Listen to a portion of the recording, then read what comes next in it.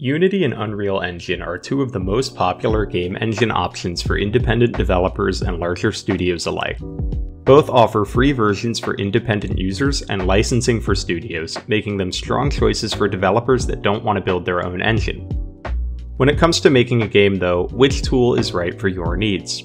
Let's take a look at the features, limitations, and use cases of both to help you make your decision. Unity is based on C Sharp and also includes support for developing with JavaScript.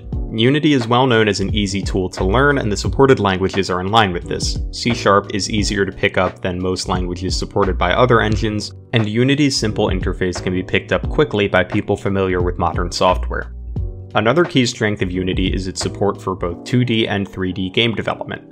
Though many game engines technically support 2D and 3D, most specialize in one or the other. Unity, on the other hand, provides excellent support and ongoing feature development for both 2D and 3D.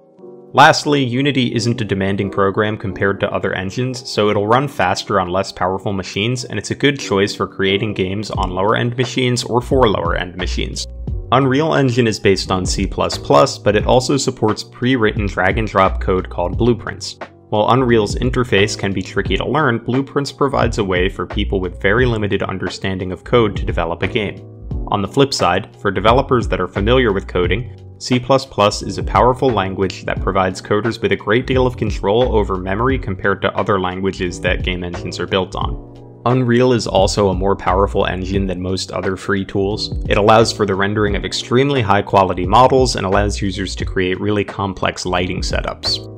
Though Unity and Unreal are both very capable game engines, they also have some limitations that are important to consider when deciding how to make your game. Unity is a great tool for learning developers and 2D development, but it's less powerful compared to Unreal Engine. The main ways developers will notice these performance differences is in the rendering of graphics. Unity isn't able to support the highly detailed models that can be rendered in Unreal, and it doesn't have as many detailed lighting options. Additionally, the nature of C Sharp means that developers will have less fine control of memory compared to Unreal, where developers will be working with C++.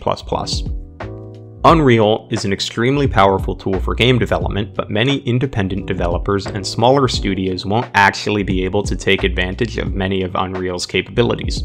Creating the highly detailed models that Unreal supports takes a lot of skill and resources. Many studios won't be able to create assets that require Unreal's capabilities, so the powerful features of Unreal are most important to studios with enough resources to make use of them fully.